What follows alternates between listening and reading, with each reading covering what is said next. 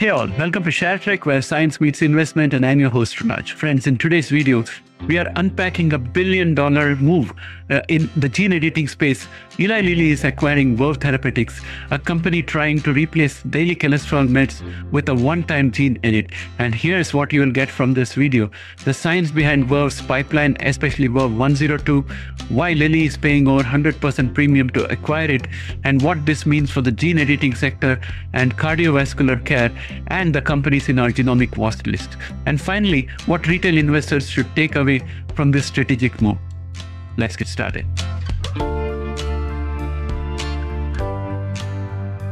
Welcome back, friends. Let's start with the science. Verve Therapeutics is a Boston based clinical stage biotech focused on treating atherosclerotic cardiovascular disease or ASCVD uh, through in vivo gene editing. That means editing genes directly inside the human body. Their lead candidate, Verve 102, targets a gene called PCSK9. This gene is well known in cardiovascular research because it regulates LDL cholesterol, the bad cholesterol. Now, here is the potential game changer. If this therapy works, it could offer a once in a lifetime treatment to lower cholesterol for good. Basically, we are talking about once and done cure. That's a huge leap from today's standard of care, which relies on daily pills or frequent injections. Verve 102 is in a phase 1b trial right now and has received fast track designation from the FDA. So, what does this mean in plain terms? Well, this could be the first ever gene editing therapy to enter the mainstream for heart disease, not just for rare disorders. Well, Eli Lilly has been aggressively expanding beyond diabetes into other major therapeutics areas. With this acquisition, they are making a clear statement. The future of cardiology is genetic. Here are the numbers. Lilly is offering $10.50 per share in cash, valuing Verve at around $1 billion. Plus, shareholders get a contingent value right or CVR that pays an extra 3 per share if Verve 102 enters a US phase 3 trial within 10 years. That brings the potential value of the deal to 1.3 billion, representing a 113% premium over Verve's average trading price in the past month. This isn't just about picking up a promising asset. Lilly is locking in a company that could completely reshape cardiovascular treatment economics. And they're not wasting time. The deal is expected to close by Q3 2025. Uh, what makes this deal really interesting is that Lilly is absorbing not just one molecule, but a whole platform. Verve has three gene editing programs, two already in the clinic, and it was founded by Dr. Sekar Kathiresan, a prominent figure in cardiogenetics, and has been backed by major players including GV, formerly Google Ventures. The strategic logic is to move from chronic therapies to single shot interventions. In fact, Ruth Gimeno, Lilly's head of diabetes and metabolic R&D, said this could shift the treatment paradigm from chronic care to once and done treatment. From an investor standpoint, this is another signal that gene editing is not just for rare diseases anymore.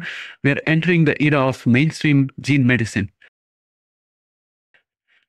So, what does this mean for retail investors like us? Well, here are a few key insights.